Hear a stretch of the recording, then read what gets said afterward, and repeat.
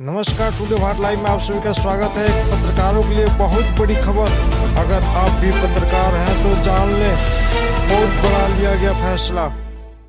पत्रकारों के परिवारजनों को इस बात के लिए आश्वस्त करता हूँ कि राज्य सरकार उनके साथ में है और उनको हर प्रकार का सहयोग प्रदान करेगी। दूसरा, हम लोगों ने इस व्यवस्था में एक और भी जोड़ा है।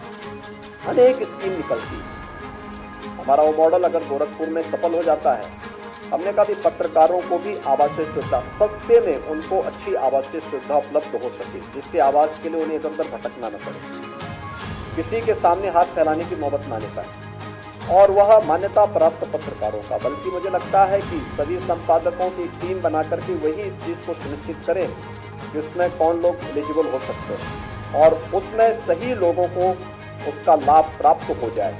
इस चीज़ से और मॉडल सफल होता है तो हम हर महानगर के अंदर इस योजना को लागू करना चाहते हैं जिससे हर वह पत्रकार जो वास्तव में लोकतंत्र, लोकतांत्रिक मूल्यों की स्थापना के लिए पूरी प्रतिबद्धता के साथ कार्य कर रहा है, जूझता है, सर्दी, गर्मी, बरसात, बीमारी या कुछ भी होता है, दिन रात की प्रवाह के बगैर लगातार रिपोर्टिंग करता है, सही जानकारी देता है, वास्तविक तथ्यों से शासन प्रशासन को अवगत कराता है।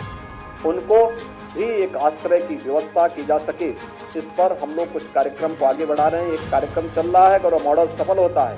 तो मेरा मानना है कि इसको हर नगर महानगर के अंदर हम लोग लागू करने में सफल हो जाएँगे।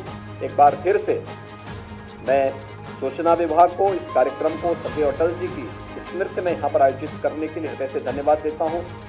सर्वे अटल जी को और अपने उन सभी दिवंगत साथियों को जिन्होंने कोरोना कालखंड में अपने आप को, अपने परिवार अपने परिवार से बिछड़े हैं। आज वे हमारे बीच में भौतिक रूप से नहीं है, लेकिन उनकी स्मृतियाँ उनकी लेखनी के माध्यम से सदैव हमें स्पंदित करती हैं। मैं उन सब के प्रति आज यहाँ पर विनम्र श्रद्धांजलि अर्पित करते हुए उन्हें इस बात के लिए आश्वस्त करता हूँ कि सरकार सदैव उनके साथ खड़ी होकर के उनके हर प्रकार की सुरक्षा और सुविधा का ध्यान रखेगी।